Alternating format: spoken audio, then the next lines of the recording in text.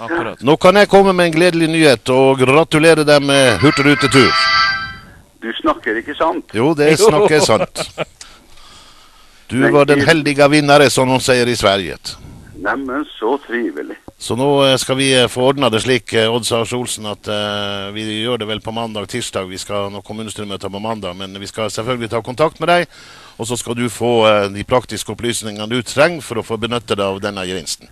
Ja, jeg ble, jo en, jeg ble jo nesten målløs, men jeg er veldig takknemlig. For det er snakk om uh, hurtigrutetur for to i fem døgn sammenhengende, så, uh, og valgfritt hvor du ville dra henne. Så herlig. Det er i hvert fall en eh, glede på eh, vegne av han, eh, Jon Henrik og undertegnede å uh, få lov å overrekke deg denne blomsten, også på vegne av Hurtigruten Group, selvfølgelig, som har vært med og sponsa denne turen til dette reiseprogrammet her. Også. så eh, får jeg håpe, Odd Sars Olsen, eh, vet du sitter opptatt eh, mye, og håper at du kan følge med oss hvis vi kommer i gang med noe tilsvarende over nyttår. Det skal, det skal jeg love, og, og gleden er ikke mindre på, på min eller på vår side. Det kan jeg forsikre deg. Det var veldig trivelig. Odd, Tusen, tusen takk. Odd Sars Olsen, hva som har gjort at du har ført, eh, ført med disse programmene som vi har hatt hver lørdag? Nei, det er jo litt eh, håper å si, selve konseptet.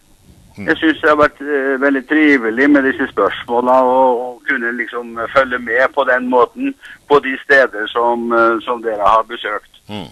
Og og, og så er det selvfølgelig også eh, kontakten til eh, nærmiljøet